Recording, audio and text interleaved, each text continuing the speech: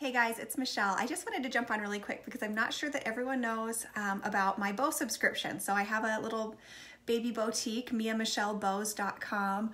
Um, and I do have a monthly bow subscription option available. And to order, you just go to the website and fill out the form for the subscription. But I wanted to show you some past um, sets and what I am doing for this uh, this month's set.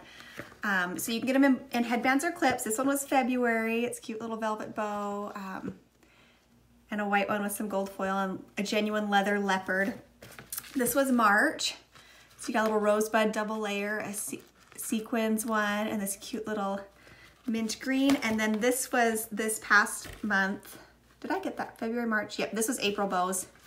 So you got this fun little floral one. I hope it's blowing out. There we go.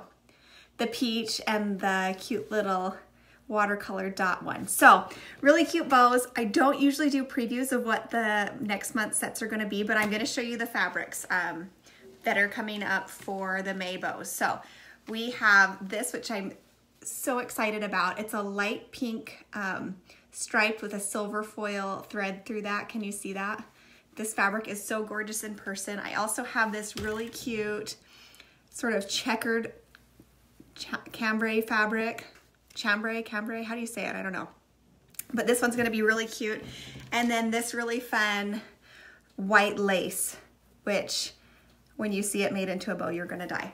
So these are so fun. They're gonna be so wearable and so easy to match with everything, with anything, just because they're such good colors. So if you wanna get on the bow subscription, I have a few spots left open. You just have to fill out the Google form that you'll find a link to on my site and then I invoice for those um, at the very end of the month and then ship them out the next month um, or at the end of this month, so at the end of April, and then I would ship them on May, the beginning of May. So you get all your fun bows in the mail. Um, yeah, so if you know somebody who just had a baby too, you could do it just like one month, one time thing, or there's tons of stuff on the website that you can um, check out and shop and, you know, spoil some of your friends who may be having babies during this crazy time. But if you need any bows, let me know because I will hook you up. Okay, talk to you guys soon. Bye.